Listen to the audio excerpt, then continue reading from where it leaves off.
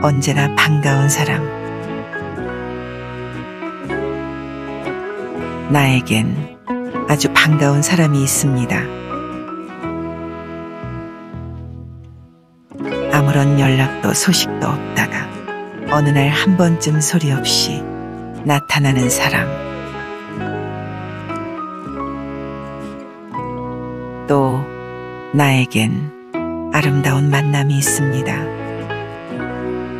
참으로 좋은 친구이면서 반가운 사람들.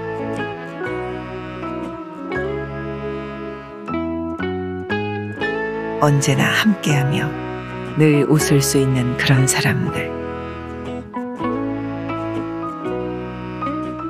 가끔, 아주 가끔 만나도 아주 편안하고 반가운 사람들. 서로에게 안부를 묻고 눈인사를 나누며 마음을 전하는 그런 반가운 사람들. 그런 사람이 된다는 건 어찌 보면 참으로 행복이겠죠. 따스함과 웃음을 전하고 소리 없이 웃는 대화와 표현 속에서도 애틋함과 따스한 정을 듬뿍 나눌 수 있는 아주 반가운 사람들. 나도 그 중에 한 사람이 되고자 오늘도 열심히 땀 흘리고 노력하며 이 시간을 살아가고 있는지도 모릅니다.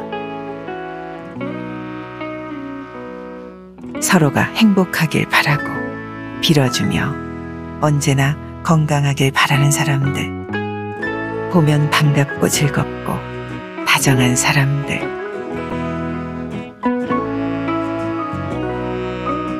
나도 그런 사람이고 싶습니다.